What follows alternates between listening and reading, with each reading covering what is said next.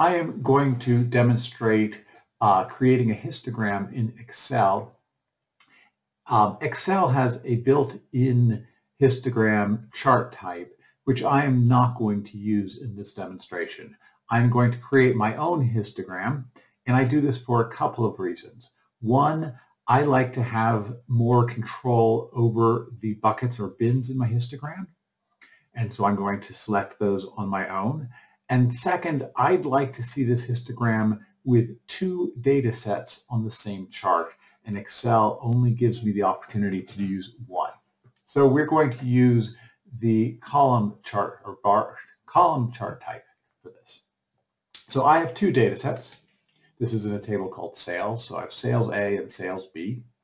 And I'm going to follow the logic that is used in a box and whiskers chart and call things that are further out in the data set than one and a half times the interquartile range below the first quartile or one and a half times the interquartile range above the third quartile. I'm going to call those outliers and ignore them in setting my buckets.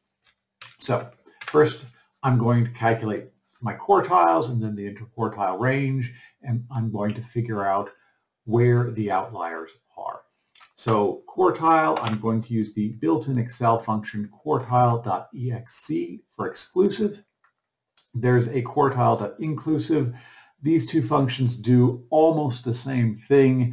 Um, Excel's box and whiskers chart defaults to exclusives, so I'm going to use that. But it's a little bit of how um, Excel decides or the, how these functions decide to choose the quartile if there's not an exact number of elements to fit into each quartile.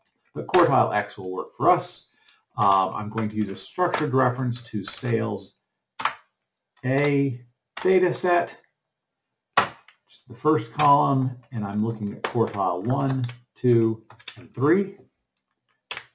So 25% of the sales A data is below 82 and 25% is above 111.75 and the median is 96.5. I'm going to do the same thing for sales B.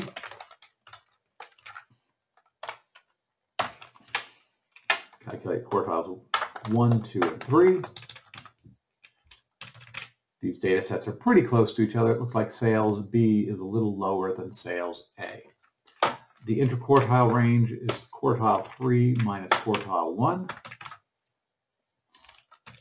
And the outliers, as I said, is quartile 3 plus 1.5 times the interquartile range.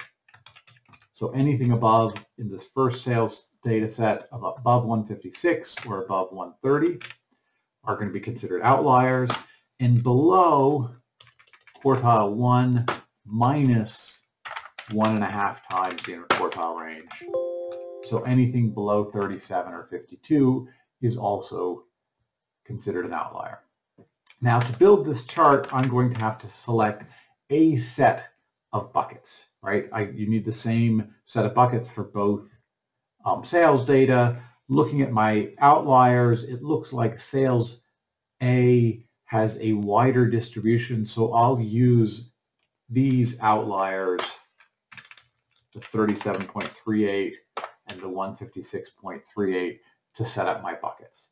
I've got a table or I've got a range here. It's going to allow me to create 20 buckets. So the first point starts at 37.38 and then I'm going to do 37, the previous bucket plus top of my range, lock the reference, minus bottom of the range, lock the reference, divided by 20, and that should, if I copy the formula down, I start at 37.38, I end at 156.38, I have 20 equally spaced buckets. To count the elements in each range, I'm going to use the frequency function. That is an array formula. It takes the data, so sales, sales A, and it takes the bins.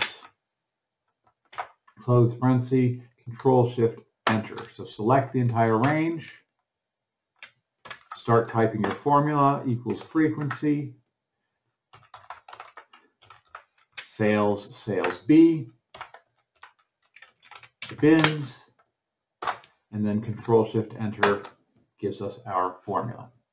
Now I like, and this is a personal preference, I like my histograms to have the percentage of observations as opposed to the count of observations. And this is because if I have a different number of observations, of course my counts are going to change, but if the distribution is the same, the percentages should stay similar. So I like to look at this, so I take my count and I divide by count of sales, sales A, and that tells me what percentage of the observations are within a particular bucket. So 2% are below 37.38, 4% are between 67.13 and 73.08, and so on.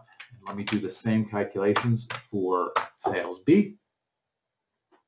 And now I have my data, my, the chart that I'm interested in, the histogram I'm interested in is going to contain these two columns of data. So let's go ahead and insert the chart. I'm using a 2D column. Put it up here. So here's my 2D column.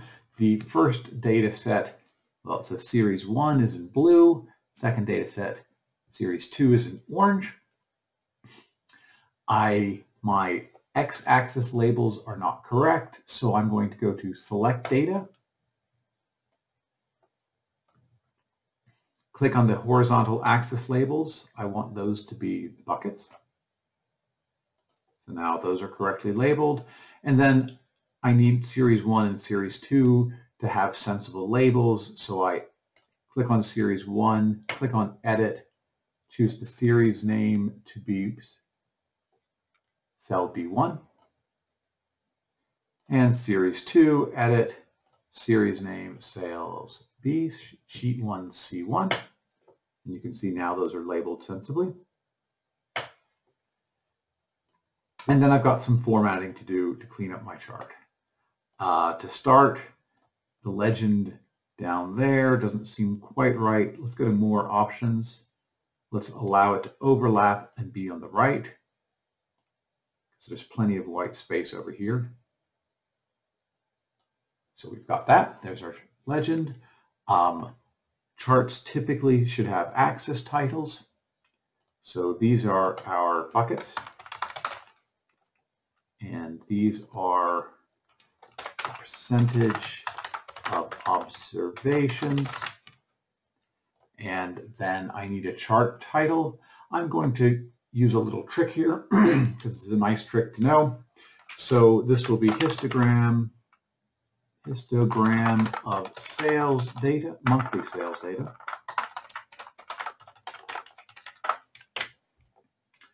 So a nice trick to be able to do, and you can do this with our chart title, with the um, axis labels and so on, but I'll use the chart table if we go up into the formula bar and click equals and click on our cell, then our chart title is a cell reference. And that's nice so that if I decide to change the cell reference, my title updates. So looking at this chart, I've got a correctly formatted chart. I have my axis labels. My numbers are sensible, have num sensible number formats. I've got my legend, which I need because I have two data sets here. I've given my chart a sensible title, and that is all. Thank you for listening.